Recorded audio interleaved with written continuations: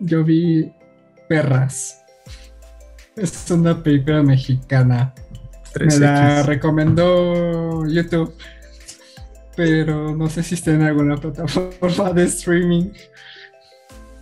está buena, o sea, yo creí que iba, cuando yo era, yo le piqué a ver, yo creí que iba a ser como un tipo de, de cine de, tú sabes, ¿no? Como a Chaparro, a Tigareda, que nada más tienen un guion por, pues no, o copiándose de alguna otra película de Estados Unidos, porque muchas películas, por ejemplo la de como ellas, lo que ellas quieren, ella, esa película es un plagio de, una película de Kate Kate Hudson.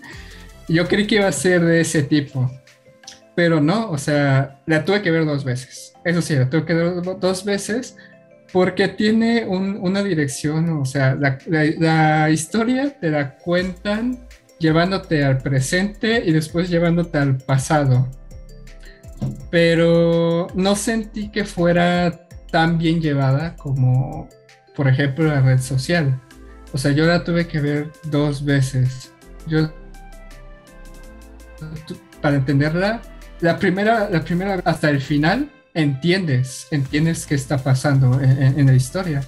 La segunda vez que la vi ya fue con el conocimiento de, ah, estos personajes están aquí por esta razón. Y bueno, em, está muy buena, o sea, son adolescentes. Aquí no, no hay ni uno, ni dos, ni tres protagonistas. Creo que hay como diez, si mal si mal no estoy, como 10 protagonistas y a las 10 les dan como que un desarrollo. Eh, son adolescentes prepubertas de secundaria, tú sabes, problemas de sexualidad, eh, algunos problemas de, clases sociales, porque la, historia se desarrolla en una escuela. Tiene como que serán unos cuatro o cinco escenarios eh, dentro de esta escuela, el salón de clases, los baños, eh, unas escaleras y pues, pues, aquí te pintan a las chicas, sentí eso yo, que te las pintan como las, las, las antagonistas, pero tratan temas, se podría decir que son fuertes. Hay una, no, no sé no es spoiler, pero hay una historia de una de estas chicas donde es abusada por un senador, me parece. Pero, o sea, ajá, pero la, cinta te lo pinta como que esta chica trató de sacar provecho del senador.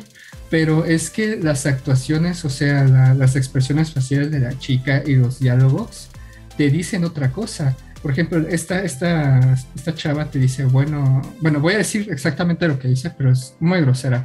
Dice, ah, me cogí al, senador por todos lados. Y te, te, te ponen la toma de, de, cuando se mete con este, este señor. La, la niña tiene una, unos ojos llorosos, tiene una cara que demuestra todo lo contrario.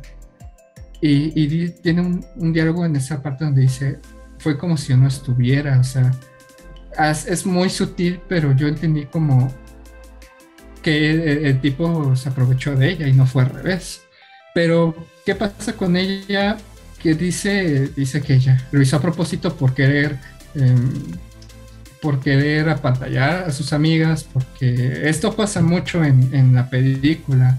Ves comentarios como que queriéndose hacer la, la interesante o comentarios fuera de lugar de estas señoritas para, pues de cierta forma, para estar en, ese grupo social.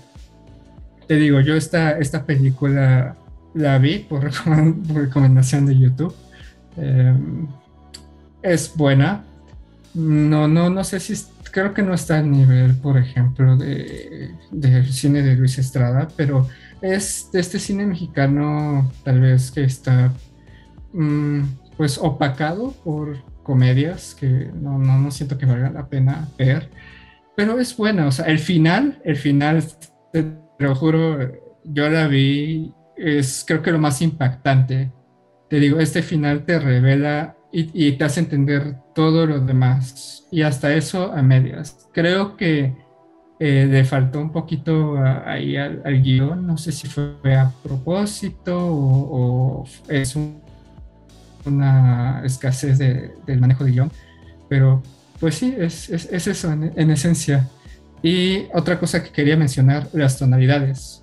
O sea, es tal vez un filtro, un cambio de filtro muy sencillo, pero el presente te lo muestran de un colores muy apagados, como un, filtro azulado, o sea, se ve feo. Y el pasado te lo muestran como un, un filtro más colorido. Y, y, esto no lo había entendido hasta la segunda vez que la vi. Pero de cierta forma, esto, estas tonalidades también como que te, te ayudan a, a, ir dando lo que, lo que vas viendo eh, a lo largo de, de la cinta. Eh, es buena, es buena.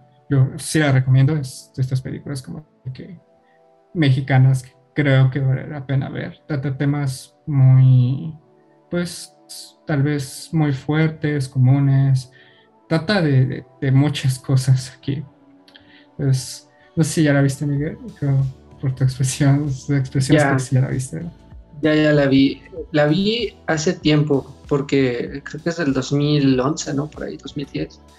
Y yo recuerdo haberla visto cuando iba en la secundaria, cuando tenía como 15 años. La vi por morbo, porque unas amigas me habían dicho, oye, ¿ya viste perras? Y yo, de, yo dije, es una película mexicana, ya sabes, como tipo Martí Gareda, ¿sabes? yo también pensé eso. Y no, sorprendentemente no. Es una película extraña porque la estructura es va de, digamos, del presente al pasado y cuenta varias historias. O sea, no es una película que se centre en un, en un protagonista. O sea, es coral. Y todas las actrices que aparecen no son conocidas.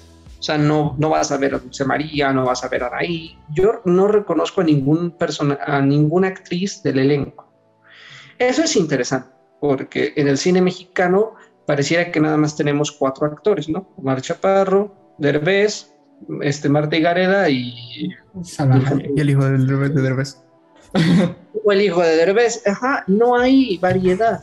Entonces, en esta película las caras son desconocidas y eso te permite hasta cierto punto empatizar. Hay muchos arquetipos, o sea, la película sí cae en eso redondita, pero no es algo malo, yo no lo veo como algo malo.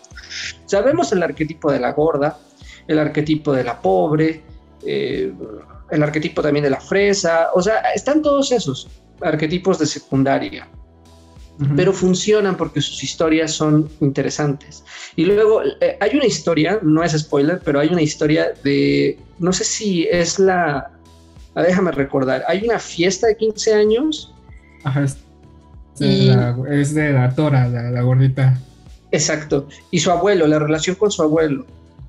Toda esa historia está maravillosamente bien contada, porque en el pasado se utiliza un recurso cinematográfico que no es común, es el hecho de distorsionar el pasado para que lo imagines como un sueño. Entonces nos muestran a los personajes así, eh, por ejemplo, detrás hay una especie como de teatro, bueno, como escenario teatral, ¿sabes? De, de, las nubes y la luna, las estrellas, por ejemplo, la que tiene la relación con su mamá, que dicen que está muerta.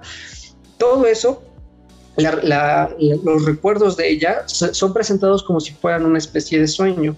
Eso está muy interesante, de verdad que es muy creativo. O sea, la película sí tiene momentos cinematográficamente eh, valiosos.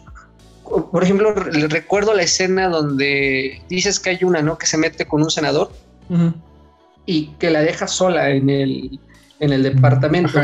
Hay una toma donde está la chica así y se ve toda la ventana, la ventana enorme del departamento, ¿no? Y se ven así las nubes y toda esa escena, solamente ese plano ya te da la sensación emocional que está sintiendo la chica, esa sensación de, desahogo, ¿sabes? O de, desasosiego, como que se siente sola, ¿no?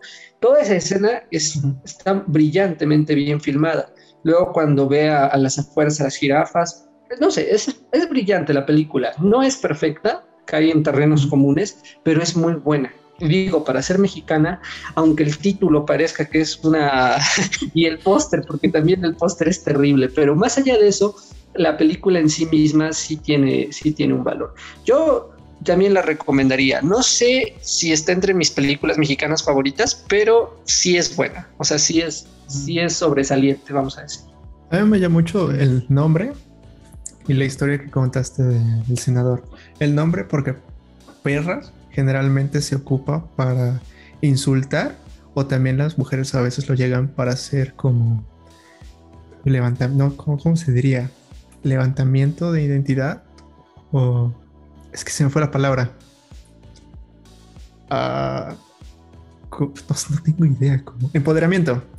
Ah. Se puede llegar a ocupar de las dos formas, pues pero entre mujeres tengo el según yo entiendo, porque si llegas con una mujer y como hombre le dices perra, pues probablemente te van a cachetado, te parten las pelotas. Pero entre mujeres es, está aceptado que se digan así. Y también es denigrante la palabra, por eso me llama la atención que la película se llame perras, porque se muestran las dos formas. La percepción que tienen las personas de afuera, de las chicas, que es como de, ah, esta se está metiendo con cualquiera por, por interés, vamos a llamarles de tal manera. Y las mujeres, y bueno, entre su grupo de ellas, se llaman así, bueno, se llamarían así porque esa palabra como que las empodera, como esto malo que me pasó, porque es malo, que sea que abusen de una niña es malo, pues o sea, ellas la veían como de, no, pues yo lo hice y eso me empodera y esta palabra me empodera a mí también.